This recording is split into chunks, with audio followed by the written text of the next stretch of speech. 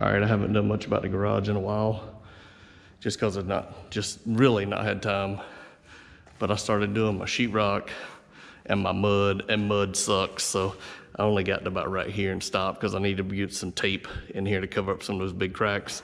But anyway, need to finish mudding down this wall and then up here, so I got a lot to do. But for now, I actually did some of this fake brick on this wall, and it was kind of a yellow color like that little patch there I had to do over my, my little IT board there, if you will, where my cameras and all my internet and everything is, my Wi-Fi. So I then uh, got some really bright white, pure white paint, and I painted over it, so now it looks uh, a lot brighter. And I did my little transition, so if you notice, this is how it looked before, it's all dark gray. This is how it looks now, it's all nice and white. I went ahead and painted up the ceiling to see how this yellow insulation was gonna take the paint. It actually took pretty good, but I don't want it white, I want it black to kind of give it a effect of a higher ceiling and blend it in. So now I've got some black paint, ready to start spraying. Just want to show you what it looks like. I'm gonna eventually paint this wall all white. I started painting the doors to hide all the silver tracks. This one I haven't painted, see how it's silver. Uh, this one I have, see how it's white. Just kind of blends in more. Did that fake brick between them. So this will be all white all the way around with the black ceilings. I think it'll give it some depth and the white will help reflect some of the light in here, but the black gives it a much higher looking ceiling. And because you don't see the cars out of here that often, but lined up, I'll give you a little preview of what it like outside. So there they are, red, blue, green, black. so stay tuned. It won't look like this much longer. Man, that's just the first pull. That looks so good. I can't wait to get the whole ceiling like that. That's awesome. Exactly what I'm looking for.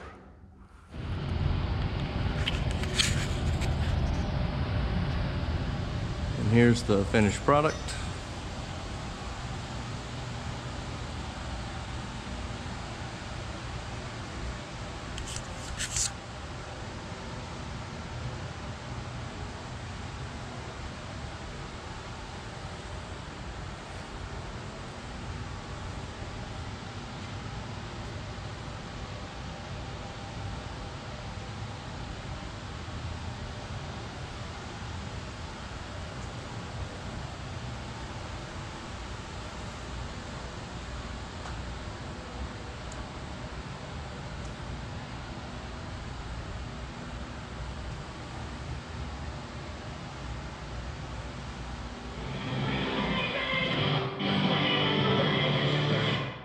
Let me go ahead and mute that real quick. So, it's uh, December 30th, 2022. Haven't done an update in a few weeks. Just been busy here in the garage. Um, I'll probably insert some stuff in here, but um, as you can tell, my garage now has a black ceiling and white walls. I even arranged some flags up in here. Previously, I had hung them from the ceiling, but it affected my light and added some shadows, which I didn't want. So I just put them up here on the wall. And, you know, uh, add a little pattern here to it. And then on this side, America. So anyway, um, paint the walls white, ceiling black. And no, I am not a tape mud guy, so uh, it ain't perfect, but you know what? It works great for what I'm doing. So this gives you an idea of what it looks like in here now. And I'm just doing some final cleanup and organization.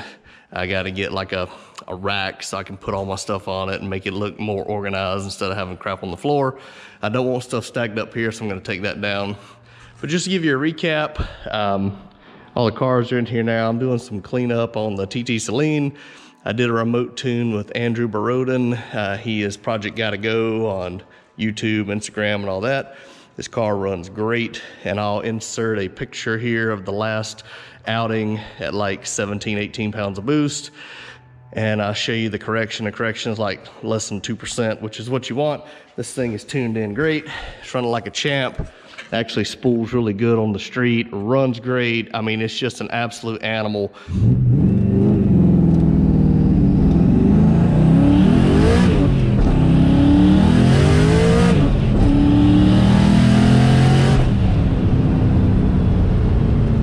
This is the fresh motor. It's got more compression in it than I had previously. So at roughly 19 pounds of boost on the old motor uh, with a stick, this car would make over 925 horsepower.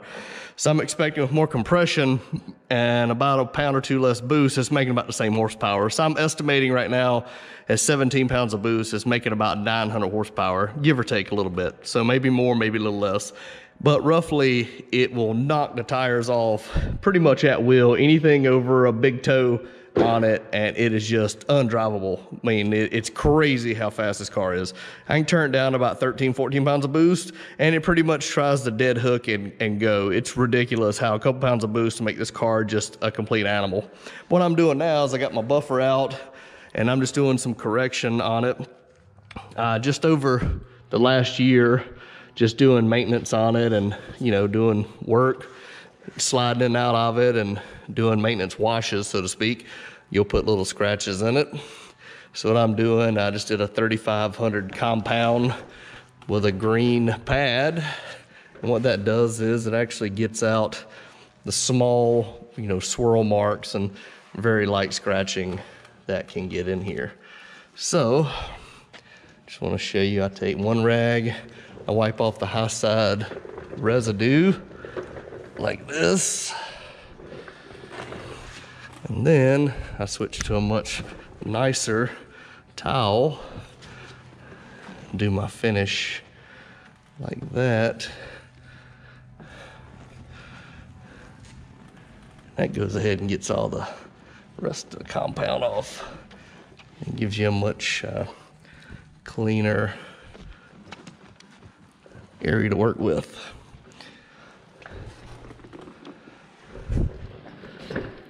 So if you look at that, not too shabby. Again, most of the paint on this car is original. Um, I've had it touched up a few times over the years, but majority of the paint on the car is original. And for black, that's saying a lot. As most of you know with a black car, they do show every flaw, every defect, but when they are clean, I'll go out and argue with you. There's not a prettier color on a car than a black vehicle, whether it's a truck, car, whatever. But it's hard to argue with like the black and chrome or, you know, if you like black and polish, whatever. But um, I do like the black paint on this car. It just makes it sinister looking. It's fast. I mean, you know, it's just, it checks all the right boxes, if you will. Um, now that I've got the computer dialed in, I spent yesterday getting the air conditioning working. That's one thing I didn't have working on it before. I found out my CCRM, the constant control relay module, was not sending out voltage to the compressor. So instead of dicking around with that some more, I decided to go ahead and hook up two relays uh, one relay, it's basically going to CCRM. So instead of the CCRM handling it, the feed wire going in is triggering a relay. That relay sends 12 volts to the compressor and actually turns it on. And then another relay, when it's triggering that, that one, it triggers the other relay, which connects a ground connection, and that's tapped into the second fan from the Holley. So whenever I turn on the AC, it turns on the second fan, which pulls air through the condenser, which is what you have to have when you run the AC. So right now it works just like it would if it was factory. You turn on the air conditioning, the uh, compressor engages, the second fan turns on to keep everything cool, and it runs great. Um, I drove around yesterday, not only is the car just an animal, you turn on the air conditioning, it blows cold like it's supposed to. So this is a legit thousand plus horsepower on ethanol now. Full-time E85 is what's in the tank. Stick shift, uh, air conditioning, power steering. It's got every creature comfort that you want. And it's one of the original cars that was making 1,000 horsepower before it was famous for everybody to make it now. Nowadays you can buy a Coyote and put a big Whipple on it and make 1,000 horsepower. But if you think back to 2008, 2009 when I built this car, nobody was doing a 1,000. I mean, you just couldn't have a street car and make a 1,000 horsepower. It was ridiculous. And now everybody does it. It's actually easy to do these days, which is hilarious how far technology has come. But this new Holley computer makes the tuning so much easier. This car, I guess with the way we got the timing and all in it now in the E85, it does spool noticeably better. Um, I still run a 327 gear in the back. That's what I had in it when I had the 6R80. Um, I should probably go to at least a 355 or maybe a 373 with this T56 Magnum. Um, because when I take off from a stop, it has a very long first gear in it. Um, so a 355 would definitely make a noticeable improvement and still be tall enough that when it starts making boost, I mean, it's still gonna kick the tires, don't get me wrong, but I feel like a 355 would be a better all-around uh, driving gear in the car. And then when I do go to a Turbo 400 uh, later, that 355 will be a great all-around gear. I don't know if 373 would be a better match, but eventually I'm gonna change the gears. If you heard my other video, uh, the ring gear is definitely noisy in this car. I think I've just beat on it so much with the power and the weight of the car. I need to change the ring and pinion out. But it is 327, I need to change that out. But right now today, it's just getting it all cleaned up. And I want to show you a new product I've got. So I picked this up from Majestic Solutions. This is called Shock It. It's their new uh, ceramic speed finish is what they call it, but basically just a final detailer. But they say they recommend this over the pink stuff I was using for years, which looked like this. This is what I use for, for years and years on uh, like a final uh, spray on. And for those that asked, I also used uh, Reload. Reload works pretty good too. Um, so between those two, either one's fine. Whatever you can get. You can normally get this online easier than you can get Majestic. Majestic's lo local to me, so I can drive over there and pick this up. But I did try this yesterday for the first time on the front of the car. And let me tell you, it works really well. Not only does it give a really deep shine on the car, but it's really slick as well. So just give you a look there what it looks like. I like it. So I'm getting ready to finish correcting the rest of the car. I'm gonna spray that on there and then I'm gonna actually cover it up. Filled up for 85, I've got an extra jug and covered up and this thing's gonna be hibernating for a little bit. This is the Mach 1 and the Mach 1, pretty much same thing. And hibernation for now. And then the Charger. The Charger is on E85 as well.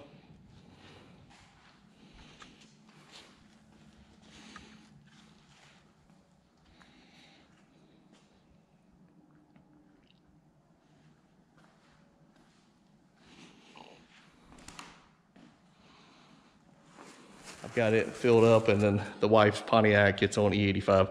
So now all the cars in here run E85 all the time.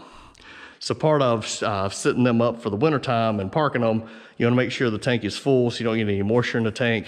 So I'm gonna do that, make sure they're all full and then clean them up and then cover them up and they'll be good to go for a few months till the weather's better. We can take them out. Uh, for example, Today, the weather's gonna be in the 60 degrees. So between yesterday it was in the 60s and today, I've actually taken the cars out, drove them around a little bit. Um, just because it's been in the teens at night and in the 20s, it's been really cold. So anyway, for the end of the year, I wanna throw a video together, show you the garage, the progress. I got it back to where I wanted it. I've always wanted to finish it and have it two-tone like this with the black ceiling to make it taller in here. And to show you, I got the cars all running. End of the year, took me a while but now the cars are back running again. The black car has not been on the dyno yet, but just going by what it made before and how it ran, I'm pretty confident this thing's making 900 uh, on the lower boost, 17 to 18 pounds of boost. And I've turned it up.